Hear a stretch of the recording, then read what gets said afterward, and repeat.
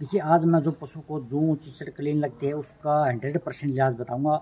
अगर आपने पशु को तीन दिन तक ये लगा दिया तो डेढ़ महीने तक पशु को जो चिचड़ क्लीन नहीं लगेंगे। इसमें क्या आपको लेना है? ढाई किलो, दो किलो, पाँच सौ ग्राम आप नीम के पत्ते ले लें और चार लीटर पानी लेकर के उनको अच्छी तरह से उबालें और साइड में रख दें। दूसरे नंबर पर एक किलो निर्गुंडी के पत्ते ले लें और दो लीटर पानी लेकर के उसको भी अच्छी तरह से उबालें और साइड में रख लें। जब आप पशु को छिड़काव करना है तो 300 ग्राम नीम के पत्ते का पानी वो ले लें और 100 ग्राम जो निर्गुंडी के पत्ते का पानी है वो ले करके और साढ़े तीन लीटर पानी लेकर के उनके अंदर मिला करके पशु को सपरा करें। सुबह शाम तीन दिन तक लगातार, तीन दिन तक पशु को नहलाना नहीं है।